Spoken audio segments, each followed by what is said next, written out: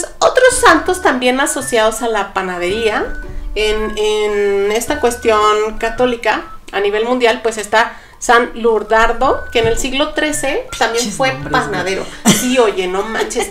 Ya, de por sí ya me costaba trabajo, ¿no? Sí, en, no. en las anteriores hablar en agua. Aquí si me trabo, ya lo siento. No, pero aparte la- es una mentada de madre de repente. Sí, no, así es, no tienen al niño, llámenlo Lurdardo.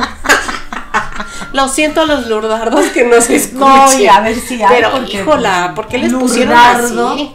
No manchen. De este hecho, el Papa pide a Lorenzo que se deshaga de todos los bienes de la iglesia y los reparta entre los pobres. Ok. Y huyan, porque Ajá. van por sus cabezas. Acto seguido atrapan al Papa, ¿sale? Y lo matan. ujú. Lo, le, le dan, Le dan cuellito. copelas o cuello. Copelas o cuello. cuello, ¿no? Entonces, decapitan el 6 de agosto. Sopas. Y bueno,